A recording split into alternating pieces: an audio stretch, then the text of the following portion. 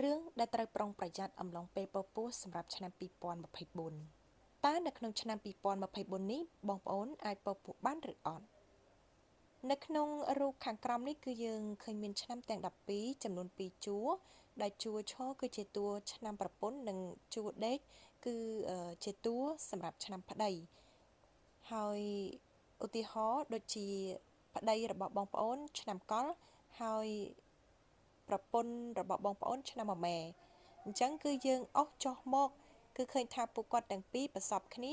នៅភាគរយលេខ79%ភាគរយស្ថិតនៅតំបន់ពណ៌ខៀវឧទាហរណ៍មួយទៀតប្តីបងប្អូនឆ្នាំរោងហើយប្រពន្ធឆ្នាំរកាយើងអស់ចុះមកឃើញថាពួកគាត់ទាំងពីរប្រសពគ្នា នៅភាគរយលេខ83%ស្ថិតនៅតំបន់លឿងដូចនេះសូមតាមដានស្ដាប់នៅអត្តន័យនៃពណ៌ដូចខាងក្រោម បើបងប្អូនប៉ះចំពណ៌ក្រហម គឺមិនសូវល្អទេហាមមិនឲ្យមានបត់ឬក៏ពពោះនោះទេនៅក្នុងឆ្នាំ2024នេះជាដាច់ខាតបើពពោះហើយនៅក្នុងកំឡុងពេលពពោះនេះគឺសុខភាពម្ដាយមានការធ្លាក់ចុះខ្លាំងចាញ់កូនក៏ខ្លាំងហើយអាចមានបញ្ហាប៉ះពាល់ដល់ជីវិតទាំងម្ដាយទាំងកូនទៀតផង បើមិនប៉ះពាល់ជីវិតម្ដាយកូន គឺអាចប៉ះពាល់ជីវិតខាងប្តីដោយមូលហេតុផ្សេងផ្សេងមុនពេលដែលប្រពន្ធមិនទាន់សម្រាប់បត់ អ្នកម្ដាយមានបញ្ហាគិតច្រើនបារម្ភច្រើន និងគិតច្រើនខ្លាំងលោកប៉ាអាចមានបញ្ហាលុយកាក់នៅក្នុងអាជីវកម្មរហូតអាចដល់ថ្នាក់ជាប់បំណុលទៀតផង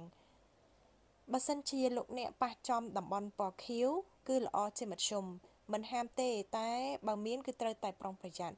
បញ្ហាកើតលើអ្នកម្ដាយអាចមានសុខភាពគឺថាកូនលូតលាស់មិនសូវល្អម្ដាយត្រូវថ្នមខ្លួនឲ្យបានខ្លាំងបំផុត ព្រោះកូនគឺអាចមានបញ្ហាគ្រប់ពេលវេលាដោយងាយងាយពេលសម្រាលគឺអាចកើតមានគ្រោះថ្នាក់ឬក៏ដំណើរការមិនសូវរលូនប៉ុន្មានទេសុភមង្គលអាចមានបញ្ហាម្ដាយអាចកើតនៅអារម្មណ៍ធុញថប់ជាមួយនឹងប្តីឬក៏ស្អប់ប្តីដោយមិនដឹងមូលហេតុសម្រាប់ប្តីវិញគឺអាចផ្លាស់ប្ដូរចរិតដូចជាជួយចិត្តដើរលេងយប់ឬក៏សបាយខាងក្រៅឬមានអារម្មណ៍ធុញផ្ទះដែលខុសពីចរិតមុនពេលដែលប្រពន្ធពោពោះ បើលោកអ្នកចំតំបន់ពណ៌លឿងគឺល្អប្រសើរអាចយកកូនបានមិនហាមទេ តែម្ដាយត្រូវប្រុងប្រយ័ត្នពាក់ព័ន្ធបញ្ហាខ្វះវីតាមីនឬក៏សារធាតុចិញ្ចឹមនានាប៉ាប៉ាហាមមានចិត្តមួម៉ៅឬក៏បង្ករឿងជាមួយអ្នកដតីប្រយ័ត្នមានបញ្ហារបួសមានរឿងក្តីក្តាំងពពោះបានរយៈពេល6ខែប្តីប្រពន្ធឬក៏គ្រួសារបង គឺចាប់ផ្ដើមឃើញមានរឿងល្អកើតឡើងជាបន្តបន្ទាប់បញ្ហាប្តីប្រពន្ធដែលមានរឿង អ្វីផ្សេងនោះគឺអាចដោះស្រាយបានល្អប្រសើរឡើងវិញប្តីដែលធ្លាប់តែដើរលេងដែលមិនខ្វល់ពីគ្រួសារគឺពួកគាត់អាចចាប់ផ្លាស់ប្ដូរចរិតបាន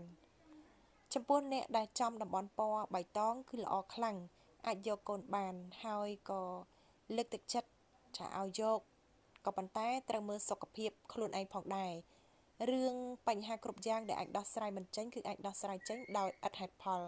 កូនកើតមកគឺមានសវត្ថភាពទាំងម្ដាយទាំងកូនទាំងប៉ាពេលពោះពោះអត្រារកប្រាក់ចំណូលបានច្រើនជាងឱកាសក៏បានច្រើនជាងមុន សំខាន់គឺចាប់យកបានប៉ុន្មានឱកាសអាស្រ័យលើបងប្អូនផ្ទាល់តែម្ដង។